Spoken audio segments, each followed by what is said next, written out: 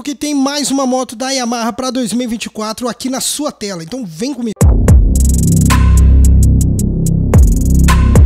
Fala pessoal, sejam muito bem-vindos a mais um vídeo desse canal. Meu nome é Marlon e, gente, é o seguinte: a Yamaha já vinha atualizando seus modelos para 2024 e agora acabou de lançar a nova Factor 150 2024. E como esse vídeo é mais rápido, mais direto ao ponto, não vou ficar enrolando vocês aqui 5, 6 minutos, tá? Eu vou direto ao ponto, beleza? Então capricha, dá, deixa o like e compartilha para seus amigos, beleza? Bom, olhando para a Factor agora, pra vocês terem uma ideia, né? A moto não teve mudança nenhuma, né? Praticamente a não ser por essa cor aí que vocês estão vendo na tela. Lembrando que a proposta da Factory é exatamente essa, é uma moto de trabalho, então, né, não tem como é, esperar grandes mudanças assim. E como é uma moto de trabalho, ela também, ao mesmo tempo, é uma moto de entrada da Yamaha, tá? É a moto ali mais acessível que a marca tem até o momento. Por ser uma moto mais acessível, isso significa um valor mais baixo na reposição de peças, por isso que muita gente opta por esse estilo de moto. E ao que tudo indica, até o momento aqui na matéria que eu tô vendo, não teve mudança nenhuma, tá? A moto ainda tá do mesmo jeitão que vocês estão acostumados. As opções dessa moto vermelho e preto foram mantidas até o que eu tô vendo aqui, tá? Mas agora tem essa opção aí cinza com azul também, que ficou bacana, ficou legalzinho. Essa cor aí mais azul fosco, né? Ficou, ficou bem bacana também. Também ali teve uma diferença nos adesivos, né? Os adesivos também deu uma diferença ali também. É, é aquilo, né, pessoal?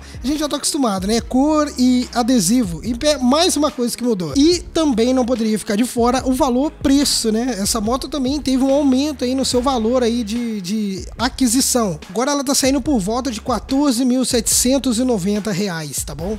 É o salgadinho. E só pra gente dar mais assim uma incrementada nessa moto, para falar para você, já que a gente tá falando, né, da Factor 150, essa moto, como ela é uma moto de entrada, ela vem com o sistema UBS, tá, pessoal? Que reparte a frenagem, é como se fosse o CBS da Honda. Mas lógico que esse CBS ou UBS não evita o travamento da roda, tá? A única, a única coisa que faz isso é o ABS. Além de vir também com tambor atrás, né, a freio e com dupla mola na traseira, tá bom? Bem, bem, bem tradicional essa suspensão e o freio também. E no motorzinho, pessoal, é um monocilindro de 149 cilindradas, capaz de gerar até uma potência de 12,2 cavalos a gasolina, 2,4 a etanol, com câmbiozinho de 5 marchas. Painelzinho vocês estão vendo aí, né? É um painelzinho até que mais completo ainda que o da própria FZ25, né? Tem indicador de marcha, olha só pra você ver, a Yamaha é, é fora de base. E é uma moto para trampo, né? Ela tem seus 127 quilos, o tanque com 15,7 litros de capacidade, o disco na dianteira de 245 milímetros, milímetros, tambor de 130 milímetros, pneuzinho 80 100 18 na dianteira e 90 90 18 na traseira. Suspensão dianteira com garfo telescópico de 120 milímetros. E lembrando que fora essa cor azul fosca aí que vocês viram, ela ainda vem